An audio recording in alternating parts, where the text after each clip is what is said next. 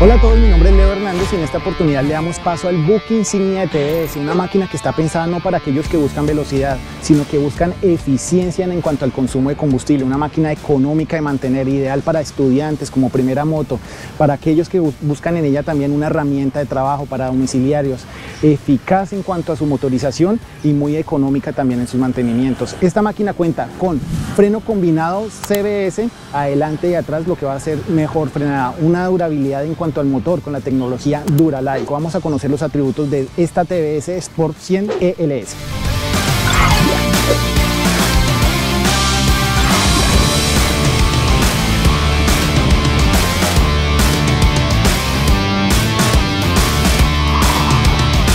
Una de las grandes cualidades de esta TBS Sport 100 LS está en el consumo para lo cual esta máquina la trajimos desde Bogotá, la llevamos a tierra plana, más o menos 400 metros sobre el nivel del mar, y nos hizo un consumo que nos sorprendió, cerca de 188 kilómetros por galón, en donde la exigimos, estuvimos tanqueando más o menos cuando ya estaba llegando a reserva, se abasteció más o menos de 2.3, el tanque tiene una autonomía, una capacidad de 2.6, de este modo estuvimos rodando, la estuvimos llevando en ascensos, en planos, la estuvimos exigiendo con acompañante en solitario, sacándole velocidad de fondo y de esta manera en esos cerca de los 450 kilómetros que hicimos sobre ella, nos hizo ese consumo, así que es un consumo bastante interesante.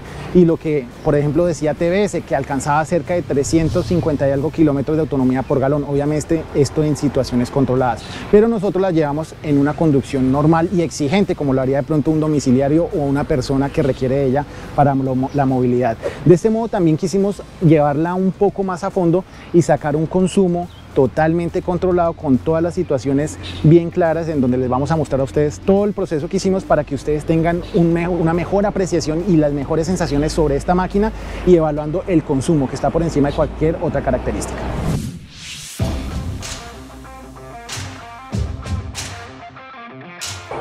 Queremos saber el consumo real, no el consumo que siempre les mostramos a ustedes, que es el de carretera, el de ciudad, velocidad media, velocidad alta, en ascensos, descensos, a esta altura de Girardot, en Bogotá.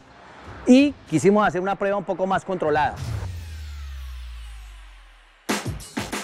No vamos a usar el combustible del tanque. El tanque lo vamos a dejar lleno. ¿Por qué? Pues para una condición un poco más real. Vamos a utilizar un dispositivo externo para que no sea el tanque, la gasolina del tanque de combustible que vamos a usar. Ese dispositivo es este. Vamos a tomar 110 milímetros de combustible. Primero pesamos solamente el dispositivo, ya vamos a mirar las medidas, para determinar cuánto pesa solo.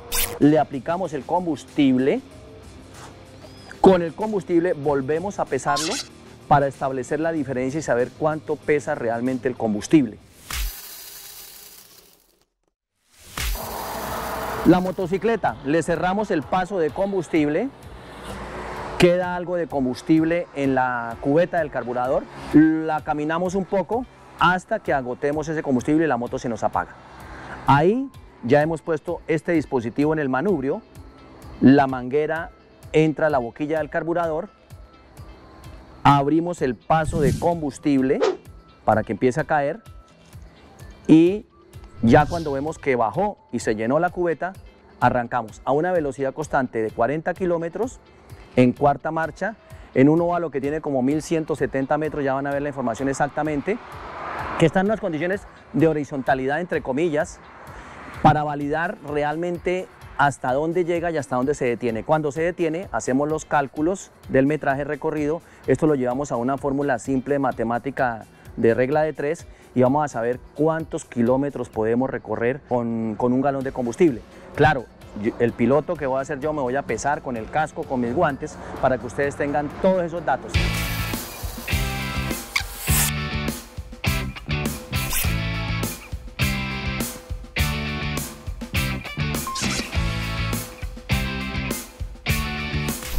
TVS es una moto que la recuerdo mucho en la 100, la versión 100 Sport, porque yo la monté hace ya bastantes años, yo no recuerdo, tal vez unos 12 años atrás, no recuerdo, 13 años atrás, cuando la representaba otra empresa anterior a Corbeta o a que la misma empresa que representa a KT representaba a TVS posteriormente. La representaba otra empresa por allá del Valle. que tenían que ver con el transporte de pasajeros como Expreso Palmira. Y la recuerdo muy bien porque esa moto me impresionó era por su suavidad en la conducción. Y esa es una de las características que tiene esta máquina. Y el sonido.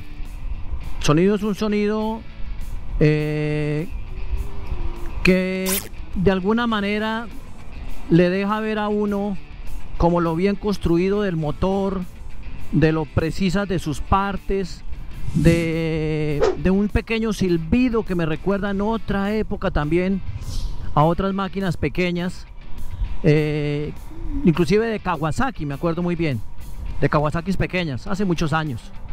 Un silbido que, que me parece eh, muy particular. La caja de cambios es una caja que no suena prácticamente, es una caja con pocos ruidos. Primera vuelta acabamos de pasar, con pocos ruidos. Y es una caja que engrana muy bien.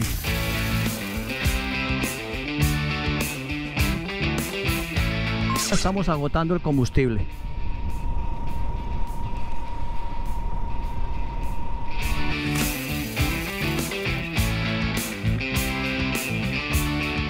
Vamos a cruzar la séptima vuelta. Y seguimos con la gasolina de la cubeta. Es increíble lo que rinde esta, este combustible que queda en la cubeta. Ya llevamos más de vuelta y media, de más. Cada vuelta tiene 1178 metros. Y con solo la cubeta llevamos ese recorrido.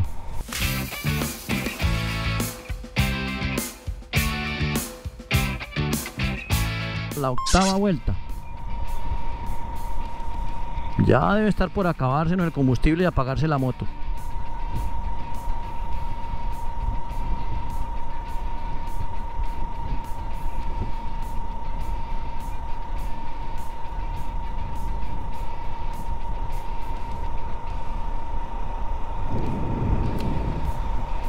Increíble lo que rinde el combustible. Me hacen cara aquí, que increíble, oiga. Bueno, hasta por aquí llegó nuestro combustible.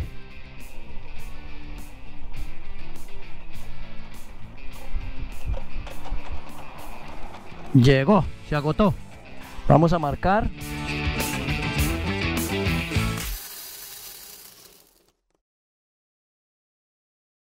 ¿Cuánto pesa la gasolina? 1900 gramos. Gramos. ¿Cuántos kilómetros recorreríamos? Entonces, cogemos 9.844, lo multiplicamos por 2.900, lo dividimos por 81 gramos y eso nos da un igual. Esta es la segunda oportunidad que tenemos en prueba dentro de Publimotos, la TBS Sport. La anterior fue la ES, ahora es la ELS representada por Auteco, desde la parte de ensamble hasta toda la parte de repuestos. ¿Qué encontramos en esta máquina? Una de las diferencias ahora es que hace hablar de la tecnología Duralife, que es un nuevo revestimiento que mejora la eficiencia interna de la combustión y también logra que tengamos una eficiencia en cuanto al combustible, optimizando mejores periodos tanto de mantenimiento como asimismo una mejor autonomía. Este motor es de 99.7 centímetros cúbicos, la potencia está dada para que podamos desenvolvernos bien en la cotidianidad, en el transporte del día a día, con 7.38 caballos de fuerza a las 7500 revoluciones. Y en cuanto al torque, también tenemos 7.5 a las 5000 revoluciones. De esta manera nos puede sacar de cualquier dificultad con una buena respuesta de, de bajo régimen y que mejora en el rango medio de revoluciones.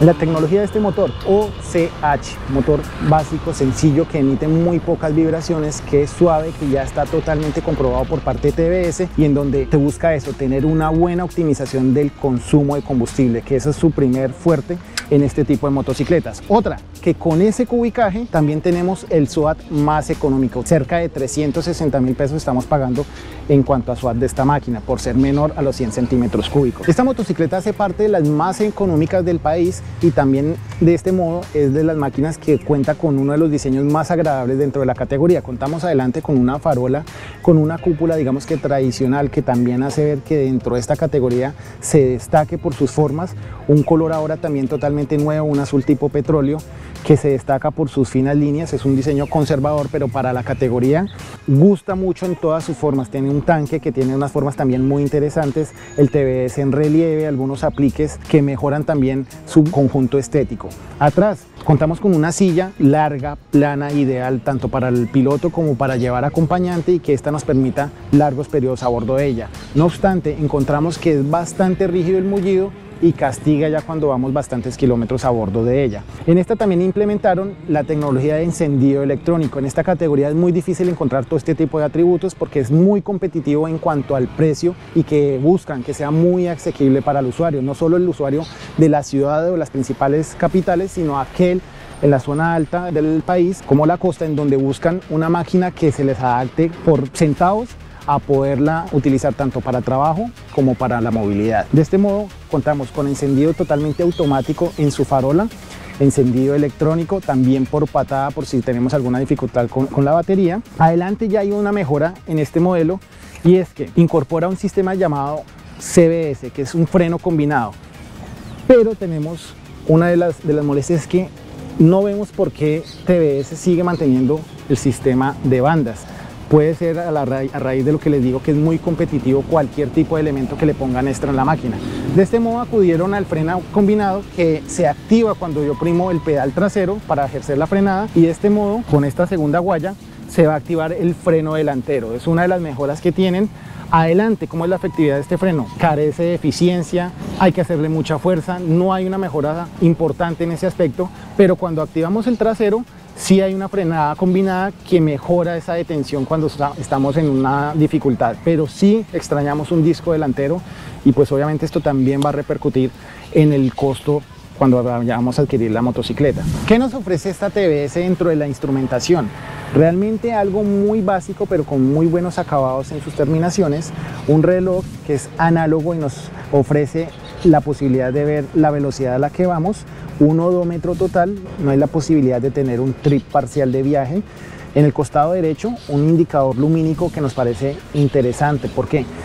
Porque mediante este botón, este color verde, nos está diciendo que llevamos la moto en modo económico. Esto es más o menos entre los 50 y 55 kilómetros por hora, en donde si no abusamos de este modo, vamos a tener un mejor rendimiento en cuanto al consumo pero cuando ya, ya, vamos a ejercer mayor presión sobre el acelerador, se va a encender este botón que nos va a decir que la estamos exigiendo y que el consumo se va a elevar. Abajo solo indicadores lumínicos como altas, direccionales y neutro. Otro atributo es que incorporaron este elemento un puerto USB para la carga de dispositivos móviles de 5 voltios y de 1.6 amperios. Tiene dos unidades para la carga y el uso de este.